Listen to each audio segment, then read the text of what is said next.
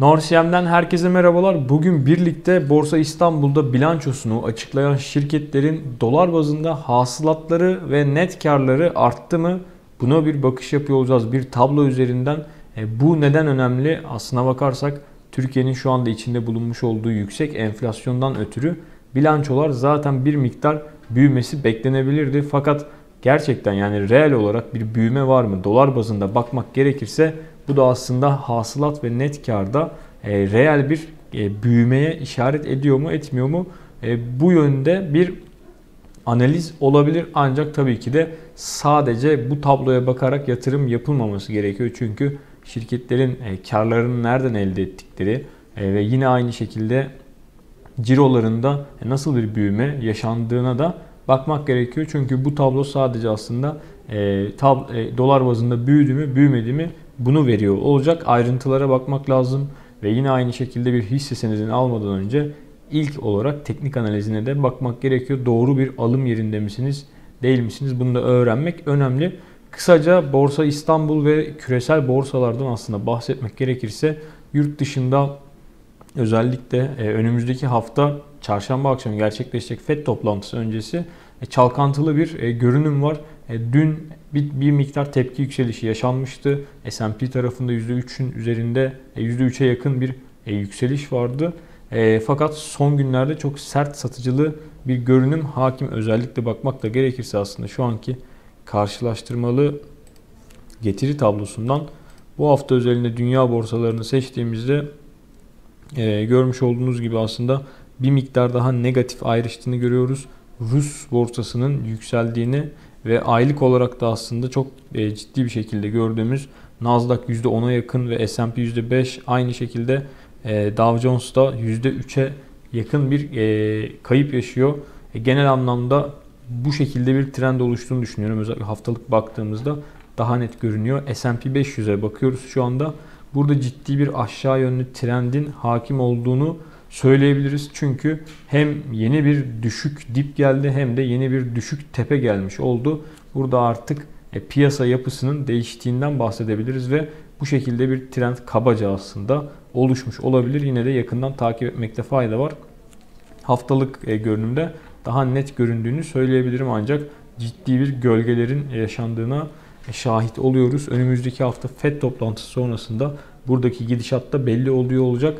E, FED toplantısı bizim için neden önemli? Biz bugün e, bayram tatiline giriyor olacağız ve Perşembe günü e, ilk işlem günü olacak tatilden sonra o yüzden FED yaşanmış olacak ve Perşembe günkü piyasa nasıl bir piyasa olacağını bilemiyoruz. Borsa İstanbul tarafında da bu yüzden bir miktar riskten kaçınma satışlarının yaşandığını söyleyebiliriz. Kısaca Borsa İstanbul'un da e, görünümüne bakacak olursak aslında e, burada daha düşük e, zaman frekanslarında, zaman aralıklarında market yapısının yine değiştiğine şahit oluyoruz. Çünkü daha düşük dipler ve daha düşük tepeler yaşanmaya başladı Borsa İstanbul tarafında.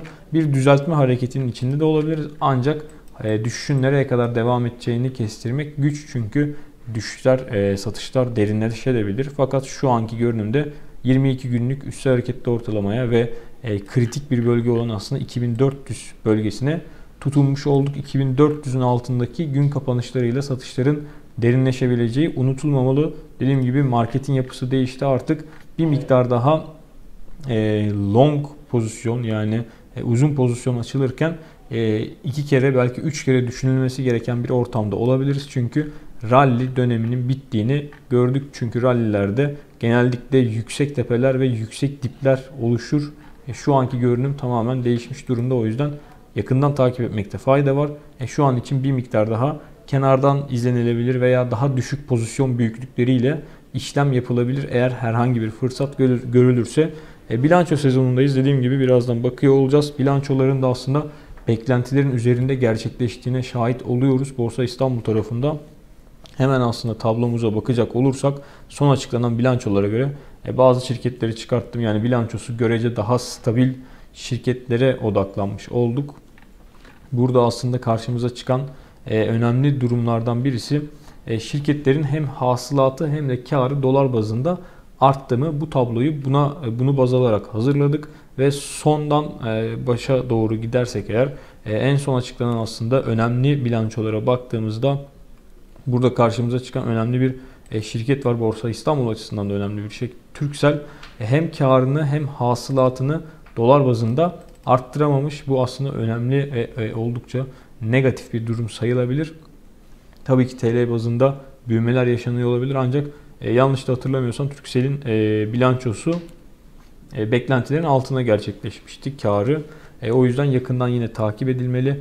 E, sonrasında yine önemli e, yatırım yapan şirketlerden birisi Tofaş, Ford Otosan ve Türk Telekom'un da dolar bazında bilançolarını büyütemediklerini e, önceki döneme ki bu aslında tablo hazırlanırken de önceki yılın aynı dönemini baz aldık ve o döneme göre hazırlamış olduk. E, hem Ford hem Tofaş hem de Türk Telekom 2021'in ilk çeyreğine göre e, karını ve hasılatını dolar bazlı arttıramamış oldu.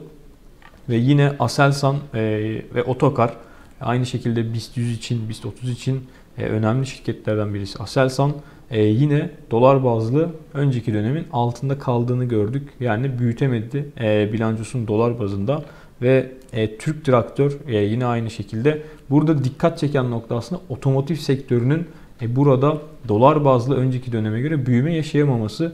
Bu da aslında yine tedarik sıkıntılarından kaynaklı, maliyet artışlarından kaynaklı ve özellikle otomotiv sektöründe bu çip e, tedariği sıkıntısı e, e, dan dolayı bir miktar aslında negatif e, bir seyir izlendiğini görüyoruz.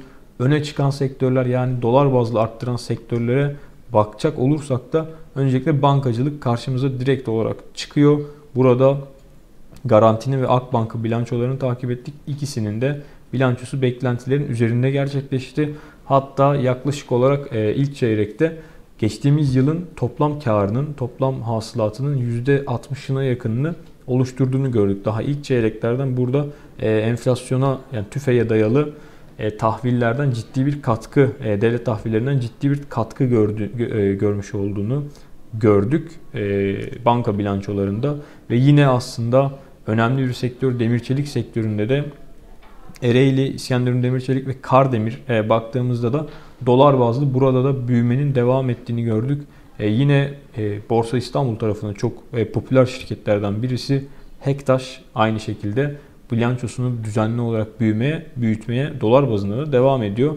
Ve önemli bir şirket yine Türk Hava Yolları. Türk Hava Yolları'na da baktığımızda hem hasılatını hem net karını dolar bazında arttırmış oldu. Şöyle baktığımda aslında e, önemli yatırım yapan şirketlere e, odaklandığımızda mesela Acıselsan, e, Kalekim e, yine arttıran şirketlerden e, baktığımızda yine Akçansa, e, Natural Gas, Polisan Holding, e, BMS, Çelik Asır e, gibi şirketlerin yine Jantsa, e, görmüş olduğum Seyitler Kimya, e, yine Ege Seramik bu tarz yatırım yapan şirketlerin e, bu tarz aslında büyüme yaşamaları dolar bazında oldukça pozitif bir hareket olduğunu söyleyebiliriz. E, önemli olan aslında yine Tekfen'e de bakacak, baktığımızda Tekfen'in arttıramadığını görüyoruz.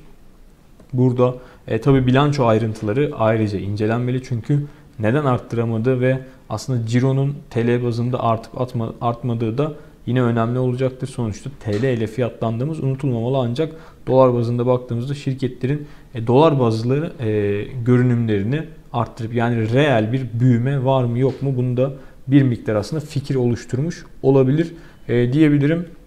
Gözüme çarpan şirkette burada sarı olarak görmüş olduklarınız da aslında ya bilançosu ya hasılatı ya karı artmamış olanlar. Burada yine önemli bir şirket Arçelik çıkıyor karşımıza. Arçelik hasılatını arttırmasına rağmen karını arttıramadı. E, artan plastik ve çelik maliyetleri e, Arçelik'in aslında kar marjları üzerine baskı yarattığını görmüş olduk. E, yine enerji hasılatı artmasına rağmen karı artmayan önemli şirketlerden e, bir diğeri e, ve yine TAV Havalimanı e, hasılatı artmasına rağmen önceki döneme göre e, karını arttıramayan bir diğer şirket. Burada da aslında şirketin o yapmış olduğu yatırımların finansmanından kaynaklı olarak da bir miktar gerilediğini e, gördük. Genel anlamda Borsa İstanbul tarafında bankacılık, demir çelik ve e, ulaştırma e, hisselerinin bir miktar daha pozitif ayrıştığını bilançolar anlamında gördük ve otomotiv sektörünün e, daha negatif